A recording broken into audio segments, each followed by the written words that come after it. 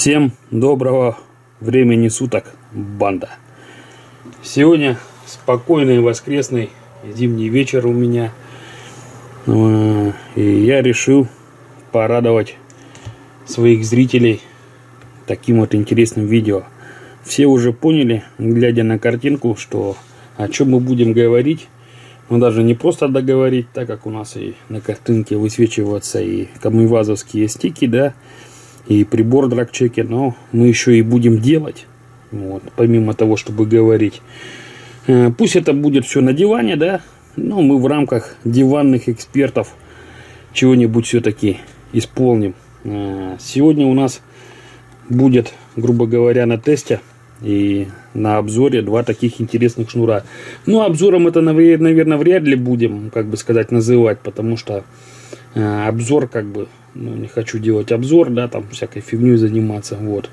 Э, я буду, наверное, уже говорить больше какие-то итоги. Э, смысл этой басни таков. Два одинаковых, практически одинаковых по диаметру шнура, дайвовских, только один восьмижильный, а другой 12-жильный.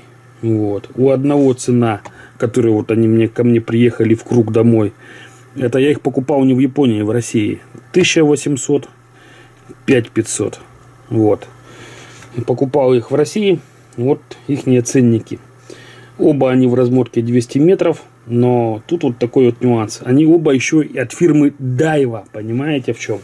А я вам сразу расскажу на сегодняшний день э, среди э, шнуров, да, я считаю, что во всем мире, да, Дайва впереди планеты всей. И думаю, вряд ли кто со мной будет по этому поводу спорить. Как правило, если сейчас кто-то будет, да, пишите свое мнение, я послушаю, почитаю, может быть, даже куплю эти шнуры, которые вы порекомендуете, и, может быть, даже затестю, да. Вот, но я, в принципе, у меня в каком-то этапе времени была цель попробовать все самые дорогие шнуры на планете Земля, да. Я их попробовал, я их потестил и имею как бы мнение. Вот, до самых там каких-то дешевых шнуров я уже как бы, ну, не опускался. Ну, уже мне было это неинтересно, да. Вот, и сейчас, конечно, будут всякие люди говорить, да это то, да это то, попробуй то. Ну, вот сначала нужно всем попробовать вот все, да, а потом уже о чем-то говорить, да. Потому что зачем говорить о тех вещах, которые вы себе никогда не купите, а может быть у вас их в жизни никогда и не будет, да. То есть, наверное, имеет смысл говорить о том, когда вы это попробовали, да, думаю, тоже все со мной согласятся. Вот, и да, его я считаю, это впереди планеты всей. Там еще э, Варивас в определенных морских шнурах тоже неплох. Вот, а, э, блин, у Санлайна топовая по ЕЕГе УЛТ тоже нифига себе, достойные шнуры. Вот, и у Юджике там только Real Detect, реально шнур неплох, да. То есть, ну, а остальное все как-то так вот, ну, чесоточно, если грубо говоря, вот. Про какие-то там европейские, американские шнуры там, про эти там уже давно отсталые технологии, я тут вообще даже не хочу разбираться. Да, они там, а вы скажете, держат там, можно там а, целого там мамонта вытащить. Да, новый диаметр измерьте и поймете, что и диаметр у этого шнура тоже, блядь, пипец. Это просто уже нитка капроновая, по сути дела. Вот. А в данном случае у нас от одной фирмы, которая является передовым производителем, да, в этих шнуров, да, мы видим, что они, это Durasensor, сенсор этот тоже сенсор, да, шнуры все такие, да, грубо говоря, у них у всех UVF плюс силициум 2, да, то есть они по сути сделаны все, э, я как предполагаю, это все одна и, одни и те же материалы, одни и те же технологии, просто вот этот восьмижильный, а вот этот 12-жильный. Этот у нас полтора ПЕ, этот 12 ПЕ. Ну, о чем я вообще сейчас речь завожу, что самое, что прикольно, вот этот шнур потоньше, да, а по разрывной нагрузке он побольше, да, на побольше он немного, там, если так разобраться, это всего на один либру, да. Ну, это там, наверное, грамм там 300-400, там, не знаю, там. Сейчас э, это я так просто на вскидку говорю, да, э, грубо говоря, может там еще меньше, да, вот. И Вот очень-очень интересно. Так, ну давайте откроем и посмотрим хотя бы на ощущения, я вам скажу, это как минимум. А, я их взял из-за того, что вот такой вот яркий, хороший цвет. Видно просто. Шнур на руку ощущается чрезвычайно качественный. Мягкий. Пока еще такой пружинит, но поработать будет очень мягкий. Очень мягкий. Такой взбитый, плотный. Скользкий. 12 жилка.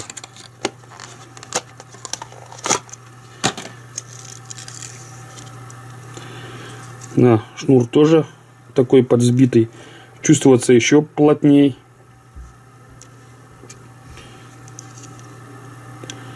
Скользкий. В принципе,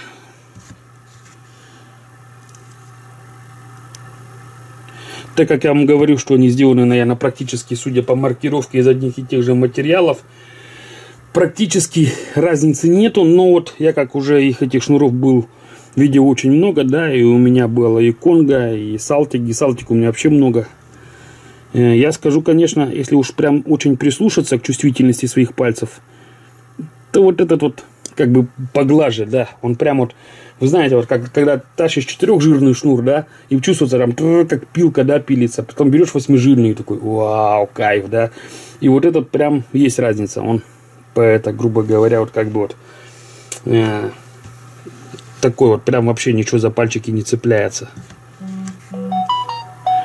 Вот, прям чуточку-чуточку. Но если так разобраться, то для простого человека, который никогда с ними не имел дела, да, среднестатистический рыболов, то на ощущение разницы однозначно никакой не поймет, да. Так как они сделаны, э, грубо говоря, из них и тех же материалов. Вот.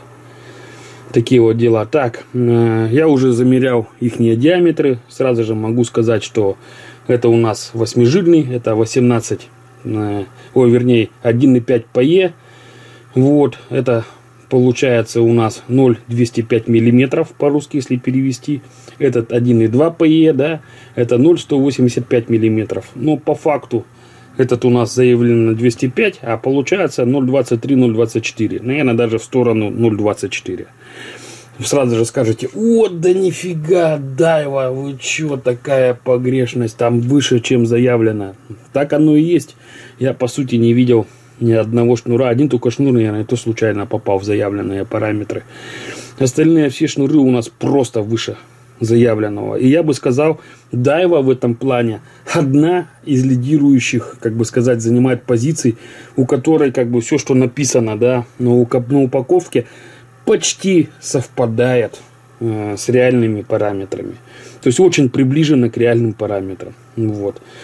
Этот шнур у нас получается 0,185, а по факту он оказался где-то 0,21, 0,22, да, вот так вот.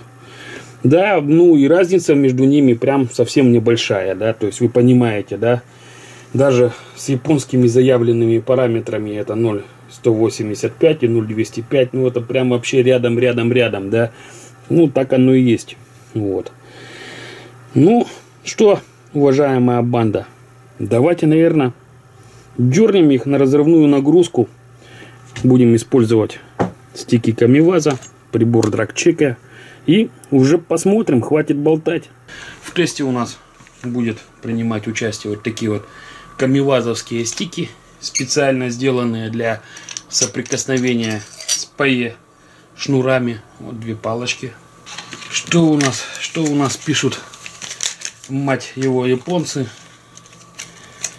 Так. Именно я сейчас хочу обратиться к таблице погрешностей, чтобы нам понять. Так.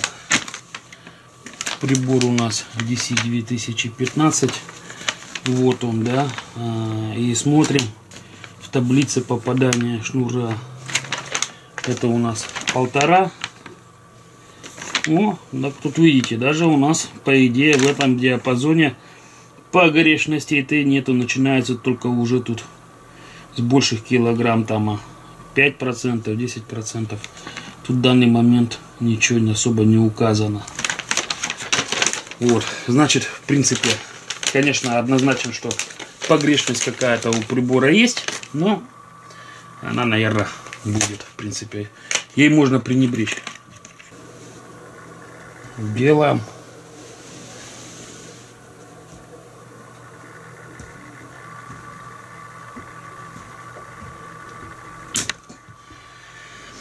Так, что мы имеем?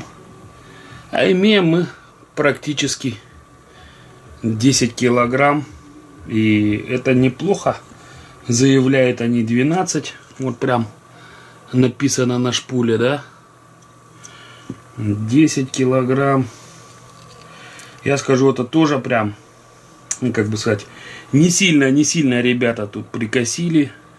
Потому что, как правило, шнуры завышены почти в два раза, а потом нагрузка там тоже, ну, вы сами понимаете. Тут прям у Дайвы очень-очень, я бы сказал, из опыта, да, из всех других шнуров, которые довелось, довелось мне тестить, очень-очень даже как бы и неплохо для шнура 0.23-0.24, да, то есть, ну, чистые 10 килограмм.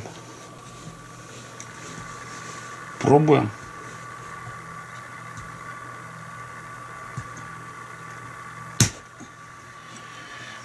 Оп. Можно видеть. Получилось у нас девять с половиной. Вот.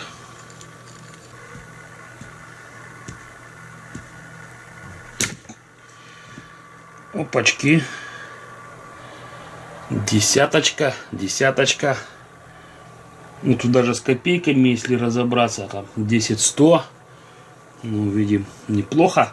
Основа десятка лежит. Давайте еще раз.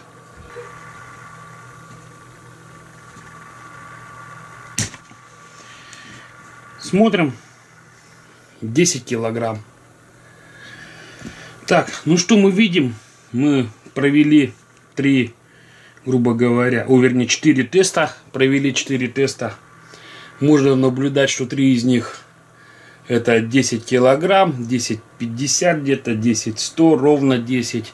И самое минимальное значение было 9,5. Это говорит о том, что у шнура очень высокое качество и очень стабильная, как бы сказать, разрывная, грубо говоря, нагрузка. Это в районе 10 килограмм. Потому что часто приходится э, тестить шнуры, такие всякие разные. И там бывает такое, там, ну, к примеру, там 10 килограмм, потом 6 килограмм, потом 7, потом где-то там опять там э, на пятый раз там 10 выпадает. И то есть там разброс у них чуть ли там не на 4, 3, 5 килограмм плюс-минус плавает. Это говорит о том, что шнур по всему диаметру, по всей длине сделан не с равномерной площадью, площадью да, то есть не с ровным сечением, и он всегда показывает разные результаты, и как у вас получится на воде, то фиг его знает, да.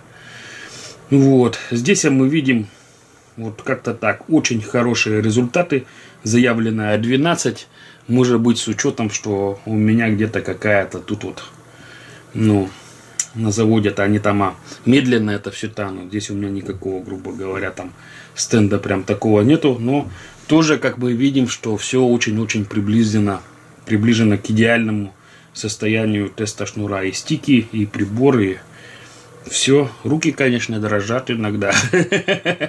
Вот. Ну что, вот как-то так. Так, ну что, банда, смотрите-ка. У нас тут появился еще один шнур, который призван зарамсить проблему на поле данной битвы.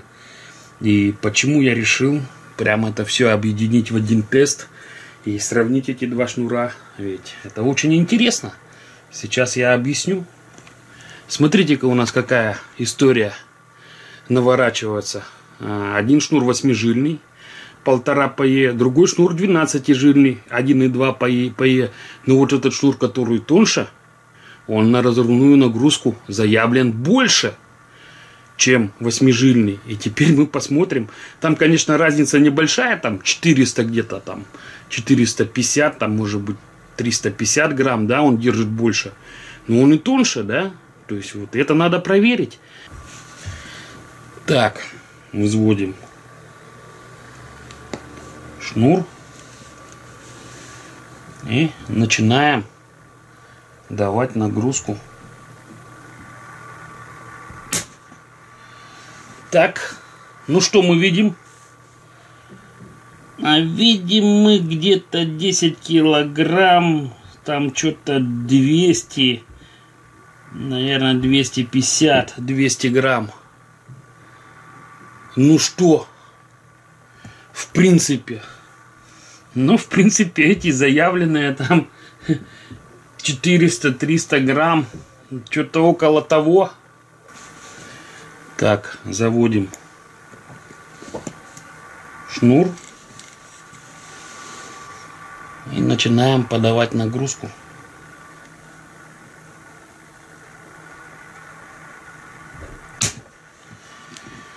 Так. Ну, где-то 10 и 100 грамм. Так, взводим.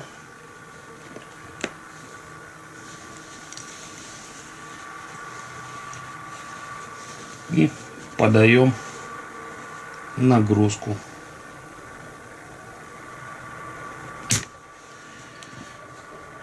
Так, ну что, получается 10 килограмм 250 грамм.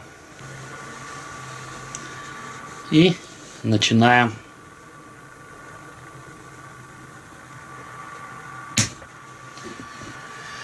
Так, что мы видим? 9, 9, 9 800. Вот. Ну, что можно, по сути дела, подытожить? Э, подытожить можно, э, грубо говоря, в этом плане одно, уважаемая банда. Да, действительно, 12-жильный шнур держит, в общем, в целом, э, на каких-то там, грубо говоря, 250, там, 150 грамм, ну, больше, да, вот так оно и есть. Он в целом получается побольше стабилен, да, мы видим, да, что значит его площадь на, на определенной длине, да, на этом участке, который мы тестили, более стабильно, то есть его диаметр, вот, и да, он чуть-чуть потоньше. Так, ну что, банда, все вы посмотрели, все видели своими глазами, что можно подытожить.